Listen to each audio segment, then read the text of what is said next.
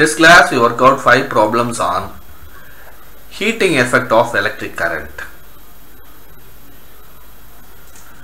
Problem 1. An electric oven has 3 heating elements of resistance 25 ohm each. They can be switched either all in series or all in parallel. Calculate the rate of heat in calories per second in both cases. When the supply voltage is 230 volts, we know that 1 watt is equal to 1 joule. 1 watt is equal to 1 by 4.2 calories. When they are connected in series, 25 plus 25 plus 25 that is equal to 75 ohms. We know the voltage is given 230 volts. We can find I. I is equal to V by R. 230 divided by 75 that is equal to 3.07 amps.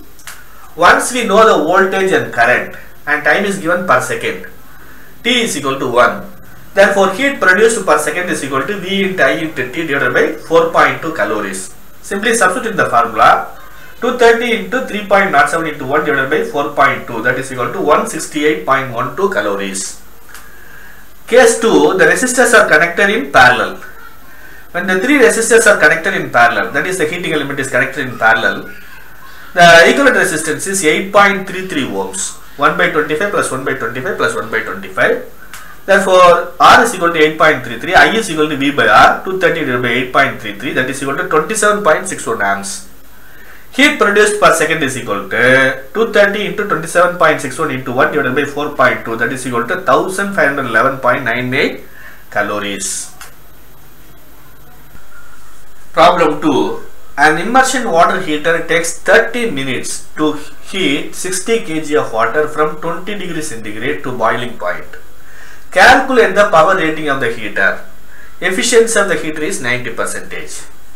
Heat received by the water or output is equal to m into s into g where m is a mass in kg, s is a specific heat capacity, theta is a T2 minus T1 that is a final temperature minus initial temperature. Uh, m is given that is 60 into s is 1 into 100 minus 20 that is equal to 80. 60 into 80 is equal to 4800 kilocalories. We know that 1 kilowatt hour is equal to 860 kilocalories. 4800 divided by 860 that is equal to 5.58 kilowatt hour. That is the output. And the efficiency of the heater is given 90 percentage that is 0.9 we can find the input. Input energy is equal to 5.58 divided by 0.9 that is equal to 6.2 kilowatt hour. Once we know the kilowatt hour we, we know the time. That is 30 minutes is given. We can find the power rating. Power rating is equal to power divided by time that is 6.2 divided by 30 minutes is given 30 divided by 60 that is equal to 6.2 divided by 0.5 that is equal to 12.4 kilowatts. The power rating of the heater is 12.4 kilowatts. Problem 3 a storage electric water heater is required to rise the temperature of 20 kg of water from 20 degrees centigrade to 80 degrees centigrade in 45 minutes calculate the resistance of the heating element if the heater is to be connected on 230 volt supply. Assume the efficiency of the heater is 90 percentage. First we have to find heat received by the water that is the output that is equal to m into s into theta where m is a mass, s is a specific heat capacity, theta is a difference in temperature that is T2 minus T1 in kilocalories that is m is given that is 20 into 1 into 80 minus 28 is given that is final temperature 20 is initial temperature that is equal to 1200 kilocalories.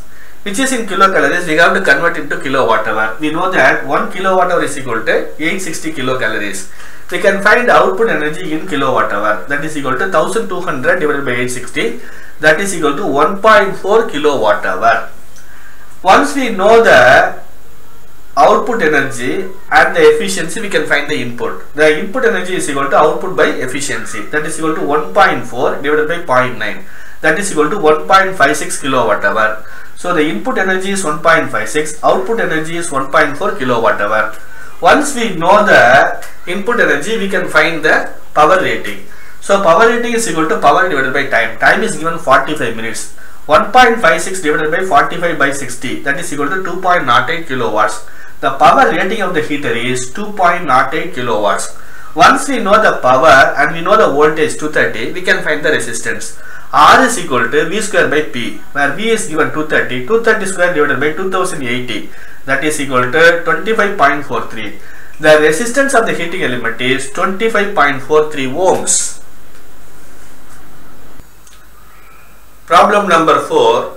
A soldering iron is rated at 75 watts when connected to a 230 volt supply.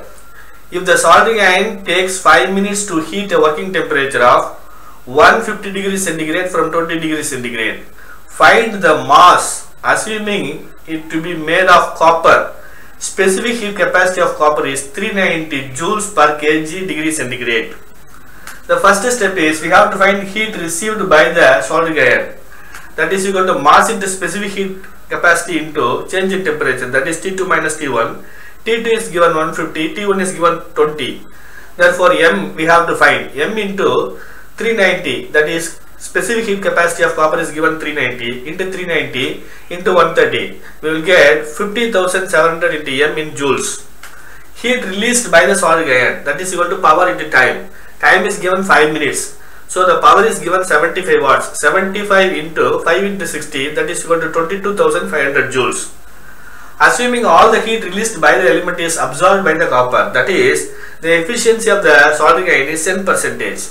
Therefore heat received by the soldering iron is equal to heat released by the soldering iron that is equal to 50,700 into M that is equal to 22,500 therefore M mass is equal to 22,500 divided by 50,700 that is equal to 0.44 kg.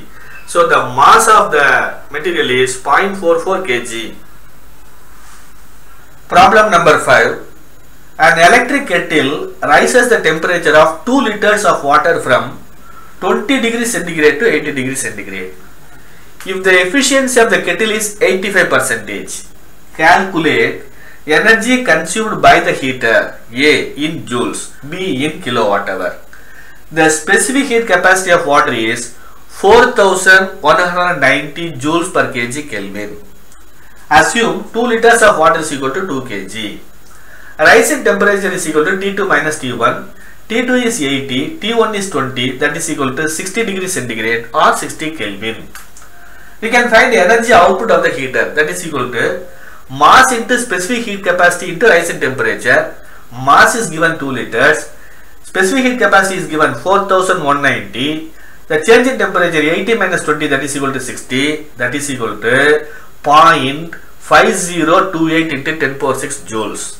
Once we know the output, we can find the input because the efficiency is given 85 percentage that is 0.85 output divided by efficiency.